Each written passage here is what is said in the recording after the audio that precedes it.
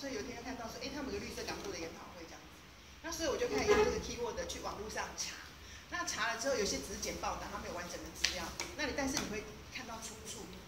好，那比如说他就是交通部，或是什么，嗯，港务局，就打电话去跟他们要，基本上他们都会给，因为这没有什么机密嘛，不牵涉到机密，啊，如果不给的话，可能就会有一些技巧，比如就说，哎，这样就是说我们报道上有需要，那如果你们可以提供你们的。资料，那我们的报道比较能够完整的去说明你的立场。我想大家都会喜欢这样子的啦。我真的很完整的说明他们的立场。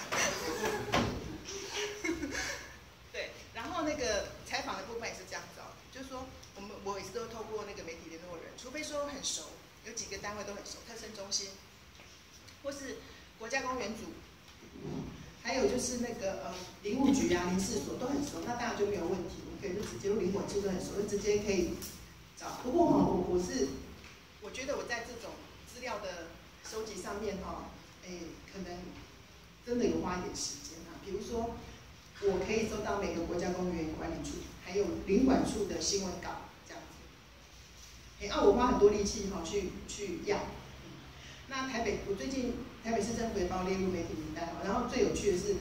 以前呢，我就要求过，那时候是郝龙斌当市长的时候，然后回答我说，嗯，我们呢只我们新闻稿只发给特定的媒体，比如说平平面媒体还是他他要讲，然后就说你们不符合这个条件，所以你们要看我们的新闻稿可以上网站，他不会他不寄给我这样子，啊所以。现在换了市长之后，一通电话，我所有局处都可以收得到，这样就差很多。然后我就跟他讲说，因为现在这个环保局的局长是呃以前翡翠水库的刘明龙刘局长，那他其实是他他他在之前在在动物园，他说他是那个保育出身的，嗯，然后呢，就是他就会哈，他我就有机会，他他一听到我是环资的记者，他的那个秘书啊哈。就来就非常热络，然后他就说他们局长特别交代哈，一定要每天要看环资的新闻。那所以我就会记恨的，趁这个机会呢，就把他以前专委说的话再说一次。然后就跟我说啊，不会啦，现在换了市长，但那个专委头脑也换。所以你说能够怎么样呢？就这样子哈。所以透过媒体联络人，然后我是觉得建立关系是就是一边走一边建立关系，那个是需要的，对。那那个关系的深浅还是会影响，嗯，还是比较那个，就是说彼此其实那种所谓的关系就是信任感。比如说我为了写那个学古线缆车这件事，我也有跟台中市政府的关旅局有交手。然后呢，我不知道你有没有看过我写那个学古线缆车，我其实还批判的力道还蛮强的。但是这个股长好像，每次接到我电话的时候。他都会说啊，你手下留情这样子。我就说，我如果写错啊，你可以，你可以来告诉我，一定会更正。他说你写的都没有错，可是那语气可以那个，哎，手下留情这样子。所以我跟他要资料，他还是会给我。就是说，你知道吗？他就是那个分寸哈，你在大家就是那种尊彼此尊重还是有的。就是你不是乱写嘛，对不对？你是有所本嘛，这样子。那换了市长之后，我们现在已经已经不做这件事情了，所以对他来讲也是松了一口气这样子。嗯，所以那个资料的部分大概是这样子，我不晓得。然后好像上次啊，其实我要采采访是港务公司的，呃，通常我都会找发言人嘛。那后来就是那个工程师他回电话给我，其实我觉得有点抱歉这样子。我最近想说，哎，最近有新新版的那个杀菌年纪，我要送一本给他这样。然后想说那要提什么？多读点书，还 是什么？哎，放下屠刀立地成佛，诸如此类。对啊，你对白海豚好一点，可是我这样有一点不好。就大概是这样子。嗯，不晓得有没有回答你的问题？对，嗯，因为哈，其实环资对很多部门来讲，真的是很小的媒体哦。我一开始当记者的时候，还有那种很明显的那个脸上就露出那种力气相密这种这种表情，其实也是。也是很受伤啦，这样子，对。可是后来我觉得说，嗯，就是用自己的报道让你认识我这样子，对。啊，所以哈，就是真的大家做这个工作要很认真，然后不要担心别人对我对你的看法这样子。好，我们就谈那个我的经验部分，然后哈，我就刚才提到生物多样性是一个报道领域，然后那个主流化哈，它其实是个价值观，就像性别主流化一样。你好，今天报道里头，如果比如说跟科比每次讲错那种性别，他每次讲性别一定中奖，然后那个那个什么女性团体就一定把他批一顿这样子，有没有？所以说就是性别主流化在我们这个社会已经普遍被接受，而且都知知道说，即使你心里不认同，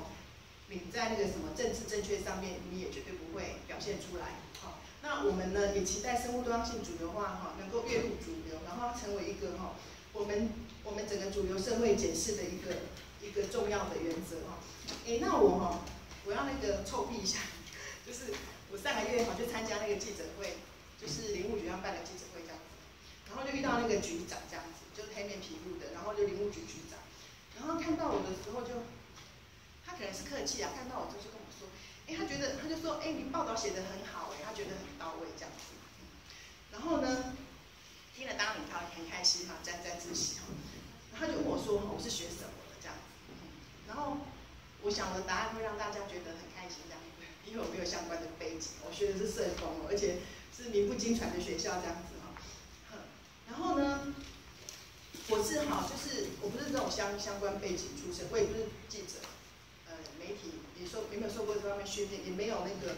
呃，也没有自然科学方面的训练，完全是这一边做一边学这样子。然后。如果表现还还令人满意的话，那应该就是，就是说，我的工作环境提给提供给我很多的机会的哈。那这个部分是我觉得蛮幸运的地方，因为其实很多媒体不见得哈，它可以让你写这么多生态领域的报道哈。然后呢，嗯，而且哈，我还是中年入行，就是中年啊，让别人觉得那个学习力已经下降了这样子哈。可是我我就是蛮幸运的啦，就这样子。不过哈，我有补上一句，我有跟老李补上一句，就是说，我觉得林务局真的培养我很，栽培我很多这样子。那这个部分后后续可以再提一下。那我自己本身哈是学社工的，而且我就是哎做社工做了十几年了。之前二零一二年就有人听听过我的演讲，我就有稍微提到说我怎么样把我在社工学到这些东西转化到记者这件事情上面哈。哎，我不只有学社工而已啊，我真的在社工实务做了十几年这样子。那所以呢，大家都大家都知道社工是服务弱势，对不对？啊，社会资源很缺乏的人。然后两千年的时候哈，那是网络开始兴起嘛，然后大家都有机会透过网络知道很多事情。那 BBS 上面常常就会看到那个环资，环资那时候大概刚成立两千年的时候，就常常转一些哈他们的报道，然后都跟环境有关的。然后我看了都觉得非常惊讶哈，特别是对。两千年的时候，特别对那个什么，哎，歌旗的这件事情，歌旗，为什么要比我的手？鲨鱼歌旗歌尾的这件事情哈，特别有感触，就想到说，哇，这么美丽，然后这么大、这么巨大的一的一个一的一一个物种哦，居然呢就是这样鳍尾被割掉之后，就让它对掉到海里去，然后就这样子活活的，它是怎么死的？淹死还是怎么？淹死。真的就很残忍，对不对？你可以想象嘛，我那时候就非常有感触哦。然后我就发现说，哎，我服务的，我我那时候做的是早疗，服务的对象是呃身心障碍的小孩。可是不是每个身心障碍小孩都需要社工的服务，是说他们除了有一个身心障碍小孩，他的家庭经济能力或者说支持功能比较不好，才会到我们这边来。那说实在的，其实真的是在我们社会上算是相当弱势的。可是我看了这些报道之后，我才发现说，天哪，还有比这个更弱势的这样子。那我觉得说，真的是生态的现况是更更更更困乏的。我真的用这样子来来形容，然后，那那时候啊，因为这个部分我对文字又非常的有心的。我以前在南部哎工作，都是住了十几年这样子。那因为这个原因哈，我就开始蠢蠢欲动，想要到那个想要做文字工作，然后也想要投入这个更更惨烈的的战局里头。我真的觉得环境。呃而且我现在做了这么多年哈，我觉得这个情况没有有应该是有改善，可是很难察觉。嗯就我觉得，我觉得环境的议题在台湾还是一个还是很艰困的议题哦，还是很贫困这样子啊。所以我在那个二零两千零三年来来那个台北，然后想说有没有机会转一次工作，然后希望可以做跟保育相关的。可是我一直。一来就接触环资哦，可是我是七年后到二零零九年的时候，我才开始。洪瑞祥跟我说：“哎，你要不要来当记者？”其实我一开始也不想要当记者，所以我要澄清一个说法，就是我我我不是哈，因为中年入行当记想当记者，然后选择了生物多样性这个为我的我的那个，你懂我在讲什么？我不是因为哈我中年入行，所以生物多样性好像比较少人，所以我用这个入入门的话对我比较有利。我不是用这个角度在做这件事情。对我来讲哦，是因为朋友想跟我说，哎，你不来当记者看看？然后我只是想做文字工作，文字工作有很多种方式，可是。他他邀请我做这件事，然后我做了，我觉得说，哎，蛮好的，所以他就成为，我觉得我可以用这个方式来服务生态的一个方法，这样子。好，就这样子。哎，然后今天要说什么？好，我我想哈，就是我自己的经历是这样子啊，就是说，哎，我刚才提到，我觉得环境是比哈，我我我以前做这个，我感觉是更更对更匮乏的。然后呢？我以前哈很喜欢看书嘛哈，然后我二零零六年看一本书叫《捍卫生命是皮拉》，我在二零一二年的时候有介绍过这本书，看过的请举手。然后其实讲了那个哈史皮拉，本来是做劳运的，后来呢，他转头到动保，他是做动保，然后做的非常相当成功。那他也讲了一句话哈，真的是与我心有戚戚焉，他就说哈，毕竟是个人的社会哈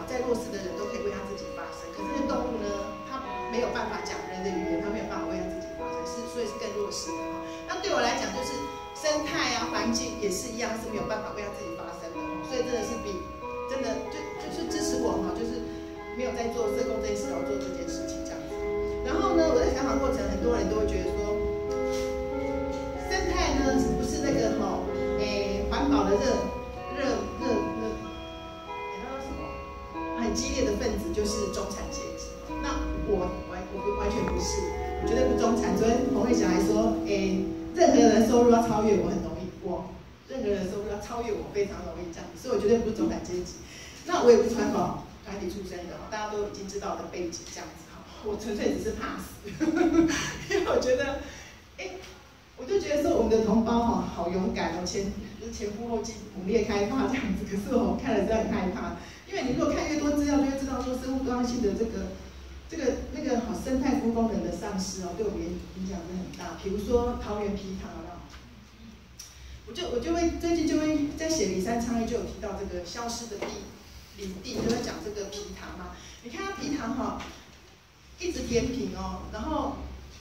大家只只会觉得说，哎，我附近的景观改变了，以前是很自然的那些农田啊、水圳，然后现在变的是一些建筑量体，而且呢，对于外来的人哦，外来。诶，住进来的人呢，他没有什么感受，只会觉得说天气越来越热。可是对当地人来讲，那个感受应该是很很很深的。皮糖哦，还包括一些长明的生活记忆等等这些东西哦。可是因为一直工业化，然后一直开发，就变成是这个样子这样子。好，我我两千零四年其实就开始在跟就就曾经在那个环子做过一阵子然后从网店开始做这样。那我一开始哈。记者的时候也没有特别说，反正就是做环境嘛，也没有特别说是针对生态这个部分哈。那只是说，洪瑞祥常常会提醒我说，哎，我们好的读者有一群人是林务局的人，哎，你有时候是不是也写一些生态方面的报道这样子哈？那所以我就开始去接触这样，因为我一开始哈，其实是写动物保护，动保是不是很很，动物保是不是其实蛮重要的，而且到现在还是，嗯，这个议题还是哈。需要持续关注这样子，后来呢，我就开始从动保，然后踏入到这个保育，然后我发现说，哎，这两者其实是不一样的啦，哈，是不一样的。呃，说重要的话，我觉得都重要，但是它是它是不，它观点是不一样的这样子。那我一开始的时候呢，就其实哈，应该要要怎么说呢？我我之前有提过，说我还没当记者之前，其实我写过国家公园的专栏。所以在写专栏的时候，一定要切一些找一些议题出来写。那那时候哈，我的编辑呢，他会跟我讨论，然后他会指定我去写什么，这样。他甚至还会告诉我说，哎，大纲大概是什么，然后我就很就很容易写。啊，也许就是因为有人这样子带哈，所以我大概就会知道。其实我觉得那个去架构内容这件事情，还是是我这一两年来哈才开始比较好，才开始比较好。那一开始的时候，你当一个主题，我觉得保育的主题是非常的抽象的。啊，你要写到让读者有感觉得有切身感，难怪我们写生物东西每次都都没有人要看，因为实在太抽象了哈。那那那个真的就是就是很可惜啊，因为有时候哈，你这个主题一直写一直写，别人不会看，你可能做一次，你就做这一次，这个时候这半年来可能就只有这次写这个主题，你没有很好的把握的话哈，那真的就对啊，就就错过了这样子。嗯，那所以呢，我开始写这个，我就开始接触这个宝玉的议题，然后开始写。我想想看，我一开始是写什么？哎，不太记得，对不起。反正呢，就是，嗯，反正呢，就是因为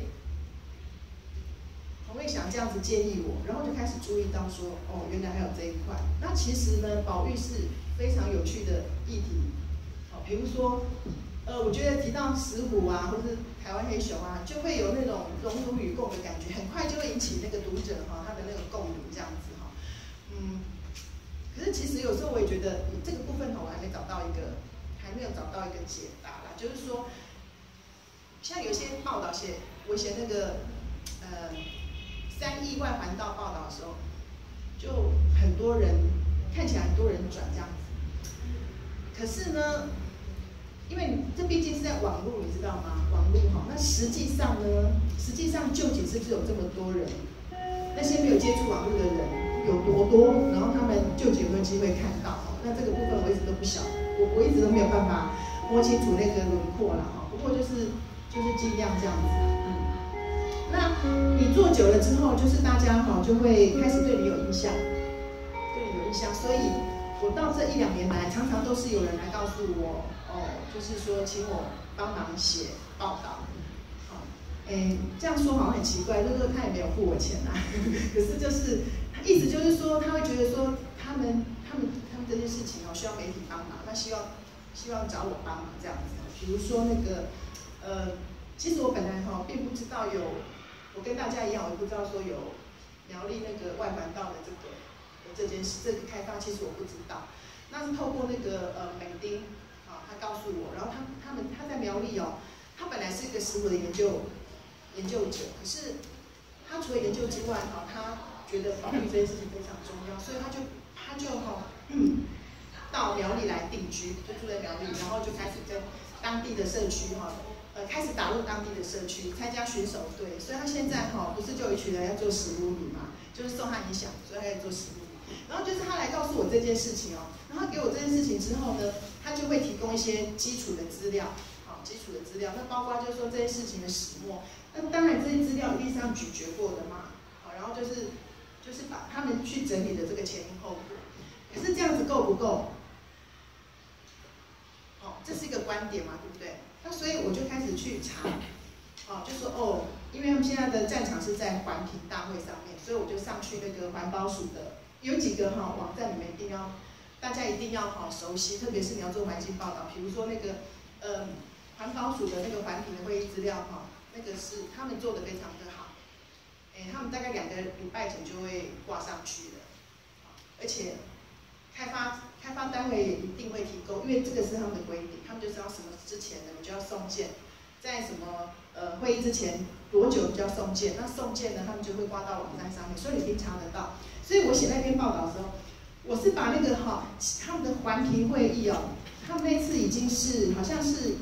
大会之前的，就是说专业小组好像已经做成决议了，我记得是这样。所以呢，我就把那个那个每次的会议记录，不是只有看环说书哦，他还会挂上那个每次的会议记录，啊，我就把它找出来看，然后看了之后，我就发，我就说，哎，那什么这个环评委员当中他们的意见是什么？那就发现说，哎，环评委员特别是主席就是张学文老师。他就非常坚，他就非常清楚的表表达说，这个开发绝对不能危及十五的七地这样子哈。所以呢，我我其实我那篇报道，只是把我得到的资讯，还有把那个环评的会议全部整理一遍，我只是做这个整理的动作，然后就发出去。然后因为你整理过了，然后用比较简单的，你你剪辑过了，用比较简单的语言去诉说，所以读者很快就可以知道进入状况，说哦。发生了什么事情？因为不是每个人哈，他都他都有办法，就是说，这耐着性子啊，把那个把那个环评哈的那环说书看完，而且还看会议记录，而且他就是看了也不见得能够完全了解，那为什么我们我们会？因为我们熟悉啊，就常常在看，所以我们大概知道架构是什么。然后这个会议当中谁的谁哈，大概他们说话，他们那个哪些人讲的话哈，大概是有什么样分量，我们大概都都比较清楚这样子。好啊，所以就做成这个报道。所以有时候其实哈，现有的这个资料，就是你拿到一个议题的时候，一定要先去找现成的资料，别人怎么报道，然后已经说过什么这样子。然后有些哪些东西是没有被说清、交代清楚的，那也许那个地方就是你可以去延伸的部分。那这个部分哈，一开始的时候，韩子在这个部分，他们训练我这个部分，他是是有真的是有教。就是有讲，就是说要先看别人怎么写，然后这个议题大概有哪些的论述这样子。然后呢，你要建立你的口袋名单。所以我哈，哎，我都我有一群顾问，我我有一个顾问名单这样。可是当事人往往都不知道，都不知道说哦，原来我把我是把他当成那个顾问，只有少数几个人。我还有首席顾问哦，对，就是那个消息最灵通人，就是我的首席顾问这样。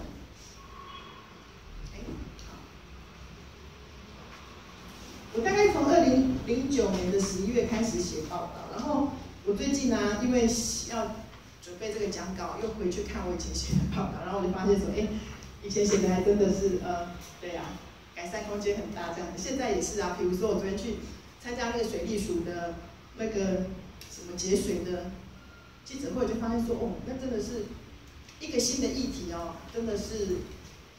真的都是要要花很多时间去了解跟给予。不然你写的就像，真的像小姑娘一样这样子。嗯，我不知道你们了不了解那种那种那种感受，就是说水利署有它独特的语言，然后他们的一些嗯做事的方法，还有那个对事件的那个呃描述的方式，啊，那个都是要重新去理解的，否则哈你很容易就掉入他的陷阱里头，就会按照他的话话他的他的语气去理解这件事情，啊，那个部分哈都是需要。嗯，所以以前呢，那个淑娟呢，也常会，呃，有有位记非常资深的独立媒体记者叫朱淑娟，哎，她常常会跟我说，就是，哎，议题不要，就是说哈，宁可把一个议题耕耘的深一点哈，不要，就是贪多嚼不烂的意思，这样子。所以几个议题好的，可是，反之就是还是很多议题需要那个，需要人去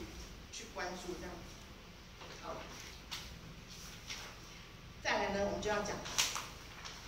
哎，我不知道说哈，在那个，哎，其实我这样说也。